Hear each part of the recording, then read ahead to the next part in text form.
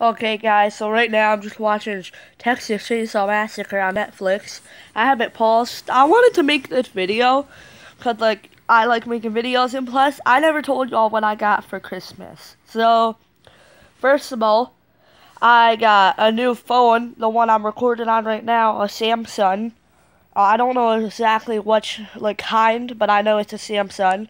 I got a new tablet in blue, like one of the big expensive ones.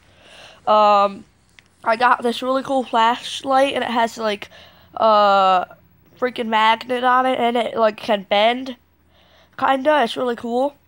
I got like a pair of pliers with like knives on it, and like toothpicks and crap like that. I got like some poop emoji pillows and stuff like that. I got like a new hatchet with a flintstone, but yeah, I got a machete. Uh, what else? I got some new pocket knives. Yeah, one new pocket knife. Um, I'm trying to see what else I got. Oh yeah, I got a new boggin.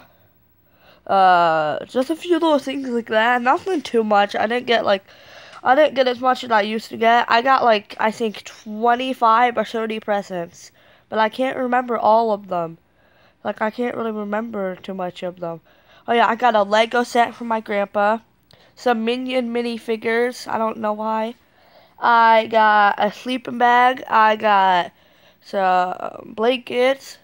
I got some Snuggies. I got all different kind of crap. So, yeah. I just can't remember all of it. So, uh, yeah. But thanks for watching. Uh, peace out. Subscribe.